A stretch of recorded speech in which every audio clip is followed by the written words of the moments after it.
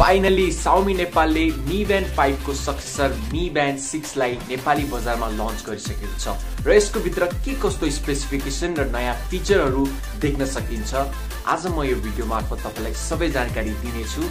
आउनु सुरु गरौँ। सबैभन्दा पहिला म तपाईँलाई भन्न चाहन्छु कि यो पालिको मी ब्यान्ड सिक्स छ त्यसको भित्र एकदमै धेरै नयाँ नयाँ फिचर देख्न सकिन्छ र जुन यसको डिस्प्ले छ त्यो एकदमै ठुलो हुनेवाला छ। यदि तपाईँ कम्पेयर गर्नुहुन्छ मी ब्यान्ड फाइभसँग भने र यसको डिस्प्लेको कुरा गर्दा यसमा वान पोइन्ट फाइभ सिक्स इन्चको एमोलेड डिस्प्ले पाउँछ with fifty percent more screen real स्टेटको साथ। मी ब्यान्ड सिक्समा एउटा नयाँ फिचर आएको छ जुन कुनै पनि मी ब्यान्ड सिरिजमा छैन। त्यो हो SpO two yes friends oxygen saturation level जुन आजकल एकदमै इम्पोर्टेन्ट भएको छ। त्यस्तै थर्टी एक्टिभिटिजको सपोर्ट गर्छ अनि कन्टिन्युस हार्ट रेट मोनिटर छ स्लिप ट्र्याकिङ छ नो प्रब्लम फाइभ एटिएम छ। यसको मतलब स्विमिङ गर्नुहुन्छ। पसिनाहरू आयो पानीमा खस्यो no problem at all.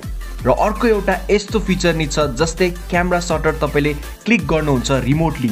With this band you can do no problem छवटा कलर भ्यारिएन्ट छ जुन तपाईँलाई मनपर्छ त्यो लिन सक्नुहुन्छ। तर साउमी नेपालले जस्ट एउटा ब्ल्याक कलरको मात्र लन्च गरेको छ।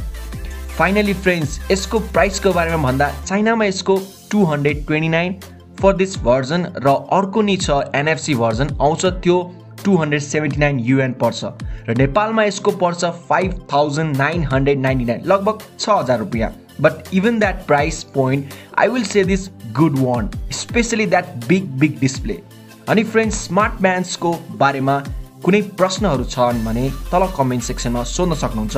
यस्तै नयाँ नयाँ इन्ट्रेस्टिङ भिडियोको लागि किप वाचिङ